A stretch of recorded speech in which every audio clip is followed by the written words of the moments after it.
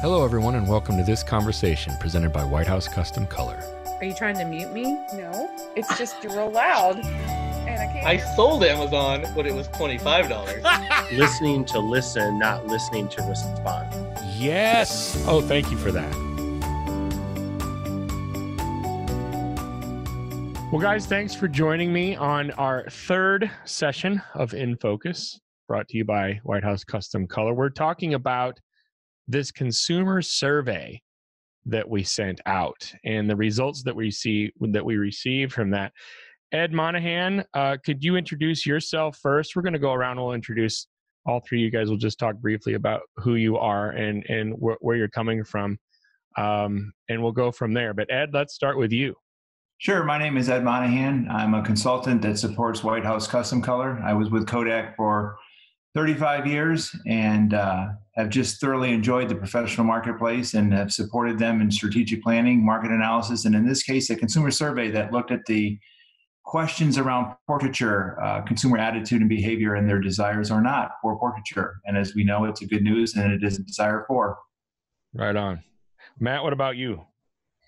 Yeah, I'm Matt Hodgman. Um, I am now with White House Custom Color for the last, wow, over two years uh, full time now. I am their client success manager. So, what that means to everybody is that I get to work with some of the top photographers all across the country, um, working with them on their successes, their challenges, things of that nature.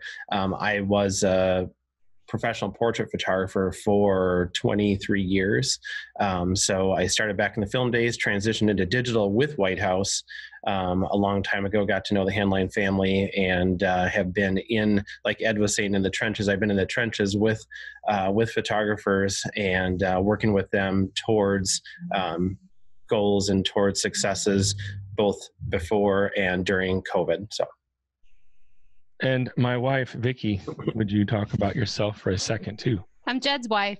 No, um, actually, uh, similar story to Matt in that we've been in the industry. I've been in the photography industry about the same amount of time, a little over 20 years.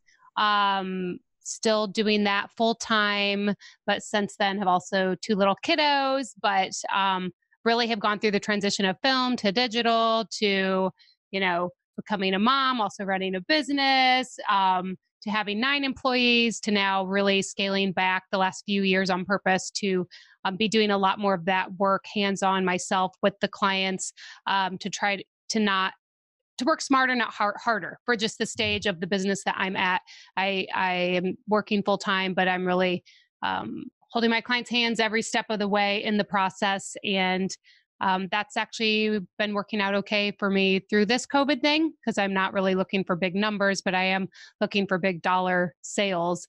Um, so getting those clients still in the door has kind of been my goal these last few months. Let let's Ed, let's talk real briefly then too again about the survey itself. And can you give us kind of a, a little rundown on what that was again? Yes, that's a that that was a, a great question as a lead in Jed. You know, we set out to learn or discover a couple of key points you know in the time of covid how has covid affected what's important to the consumer? Very specifically family and photo. And is there a change in their spend or sentimentality? Um, how has covid changed their attitude and behavior when it comes to pro photography? Not just the sort of consumer personal picture taking but you know specific and unique to professional photography. What lifestyle changes has covid had that require photographers to adjust their products so we set out to uh, interview enough consumers to get 1,500 respondents. We were biased towards portrait activity. They had to have purchased a portrait from a pro in the last 24 months. We interviewed 3,000 people more or less to find 1,500. So, um, very compelling survey, very compelling data, Jed.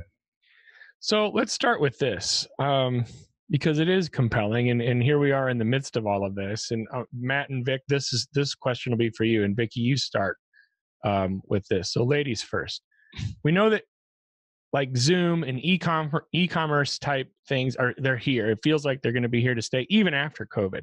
Like this is kind of how we're doing things now in a lot of ways, and and it's going to it's going to continue afterwards, um, even on the other side. So how do how do you think photographers adapt? And you talk about yourself, obviously, and uh, and just your selling process in particular. Uh, I mean, for probably 18 of the 20 years I've been in business, I've been in person sales. Even when it was film, I was putting a proof photo on a projector on a wall. So I'm a huge believer in in person sales. Um, so, of course, we have that challenge if people potentially are not wanting or able to meet in person. What does that look like? Um, I am somebody that's somewhat slow to change. I, I go about this a little cautiously. I love in person sales. So I know there's the ability to sell through Zoom um, and other, you know, online ways. I don't want to do it.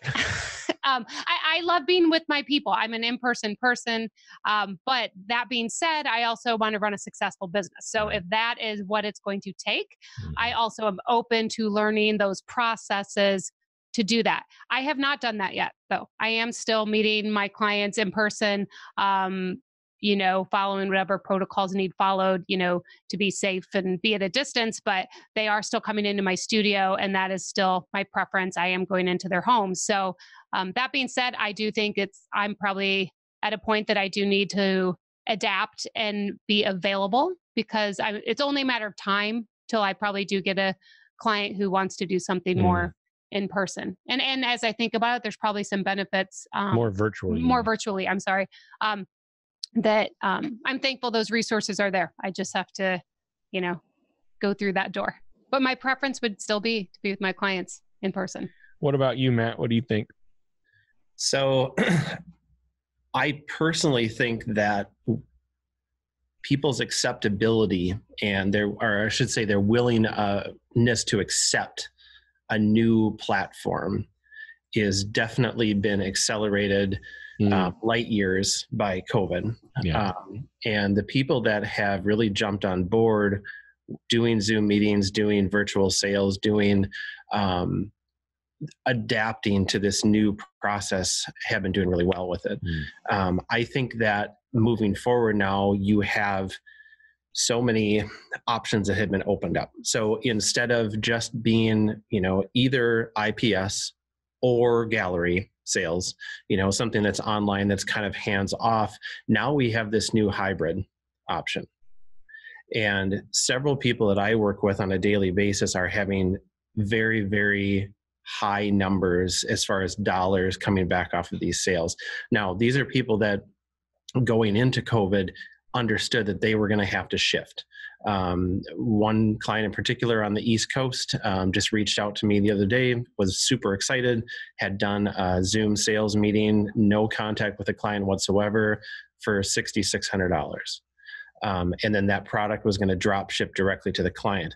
Um, definitely not taking away from what Vicki said at all, because I am on that same school of thought where I did in-person sales, you know, basically my whole career, and we all know that do that that that is the way that you make money in this industry. Yeah. Um, but I think now it does give you the option of uh, flexibility of you know vicki you can probably comment on this too you know you have a great big family group come in and you know people are from all over the country and you are able to literally sit in your living room and reach out and work with those people in individual sales now and it's acceptable you know yeah. prior to covid you know i would say to a client let's set up a zoom meeting and somebody would say what's that Oh, they'd say, you know, "Can you just put the images online?" Right. Yeah, I yeah. don't live um, near you. Yeah. Right. You know, so now Zoom has gotten to be, you know, like ketchup. You know, it, in we all use it, and it is something that is very widely acceptable now and very efficient for everybody. I mean, you know, at White House for all of us, you know, we we've been working remotely since mid March you know, and we've been doing it efficiently and effectively. So I really think that this has propelled the um, efficiency of, you know, in-person sales or a hybrid version of that forward. And for the people that are are taking advantage of it now and planning for it, they are having a, a lot of success. Ed, can you talk a little bit about the data that we that we received or that we got from the survey that spoke about how COVID has changed the way consumers are going to spend on family photos? Yeah, Jed, it's a great news story. Um, the data reveals that there is a certain percent of people who are going to spend more. That percent, I believe, is 26, is actually larger than the number of consumers who generally use an independent portrait photographer. So the, the, the target addressable market is growing. The other noteworthy thing was as many said spend the same. And in light of the pandemic, you would think that there would be conservatism, fiscal prudence. So when we hear people say, I'm going to spend no less, no more, that's good news. In, in light of a perception of time where people would be loath to spend money concerned with unemployment and the economy. So I think what we saw, and I'll caution all of our listeners, this is biased. This is uniquely people who have been portrait active in the last right. 24 months. So it is our audience. It's the people that we cater to and who enjoy and appreciate the value that the professional brings.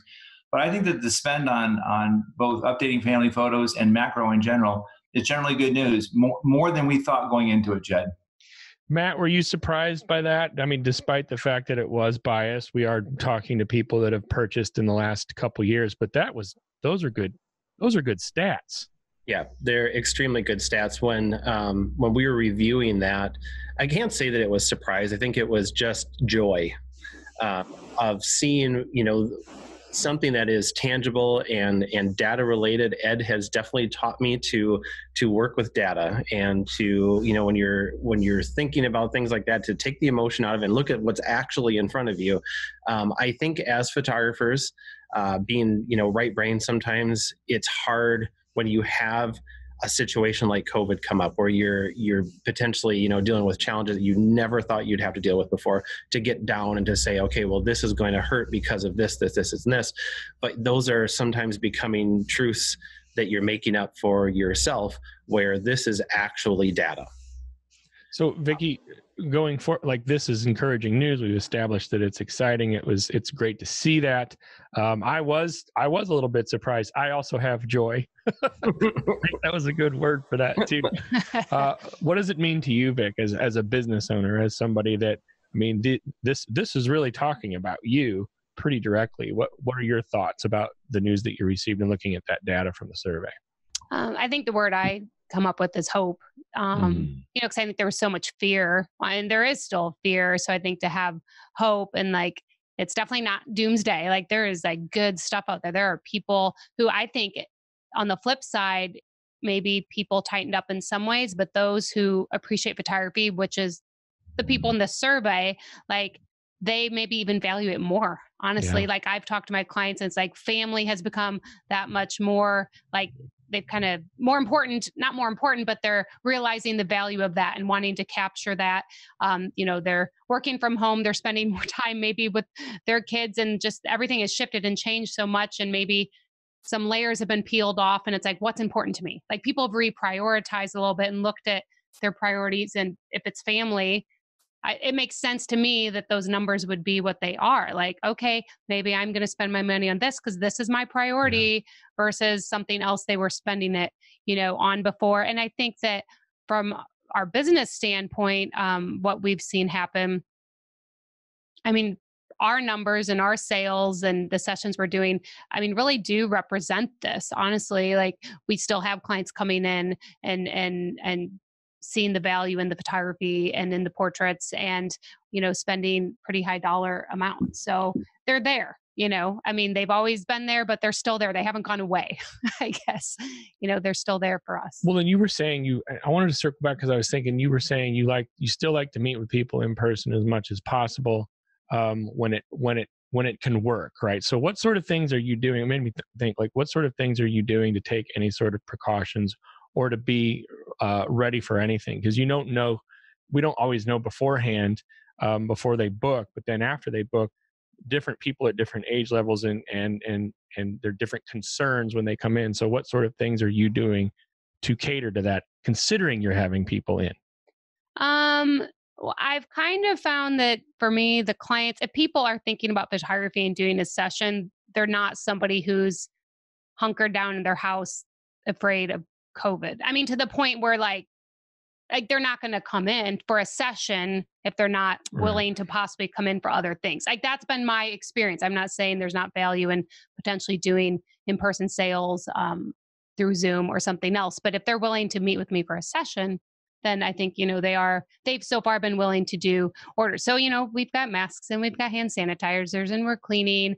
Um, you know when we're outside, um, I'm not wearing a mask, but um, I'm distanced from my clients. I, am a hands-on person, so I would say typically the way I would shoot that's shifted.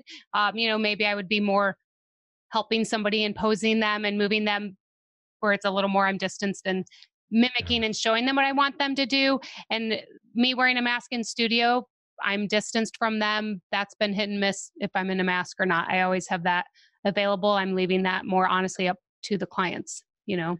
Matt, what ways are you aware that people are taking precautions during this time? Well, I mean, uh, of course, everybody is masked up when they're in the studios now. Um, hand sanitizer stations. Um, there are some of my clients that are requiring shoes off in their spaces. Oh.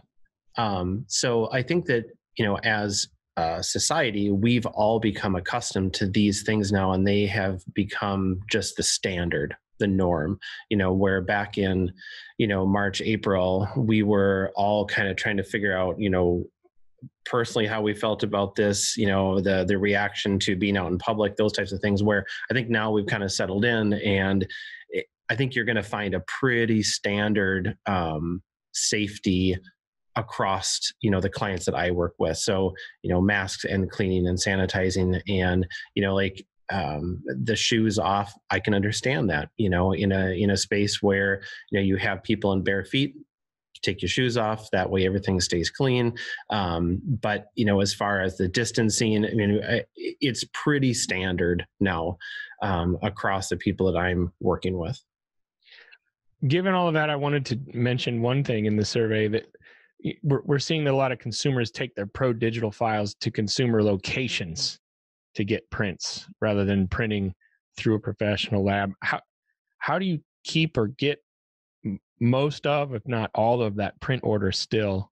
And i'll start with you vic again here um, during the sales session so that yes if they do have the digital files um, um, they're also still printing with and through you I mean, I haven't changed my pricing structure in that um, we do offer digital files, but they're only as a bonus after they've ordered the mm. prints through me. So it's not really an issue in that they're not getting those files to go print. Like they've already invested in a wall portrait albums and things.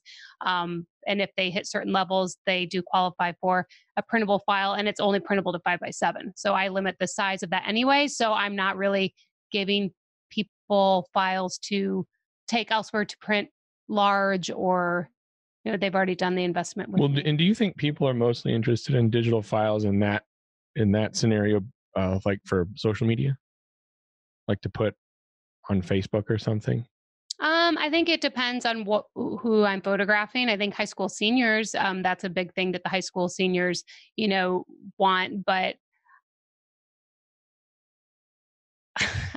I, don't know. Like I just I feel like it's something I've kind of stay have stood firm on. I went through a oh. few years, um, a few years back where I was like no to digital files. I mean, but that's been years now where it's just I want to be able to say yes, but it's really as a bonus and it's not something they know this up front. Like it's not if someone calls me and they say, you know, I want a session in digital files, I'm probably not the person they're gonna book anyway. So it's kind of a non-issue by the time we're doing the in-person sales. So Matt, what yeah. what what are you aware of regarding what people are doing uh, to get to stop that from happening? So what Vicki's talking about is a very popular model, and that's exactly how I I did it as well. It wasn't something that even showed up on a price menu. It was somebody had to ask about it, and you were required to purchase print first. I just think as photographers, you know, that is what we do to deliver a beautiful final product. Um, but one thing I want to definitely interject here, Jed, is if clients are saying they want digital files, they're not necessarily saying they don't want to print. Mm-hmm.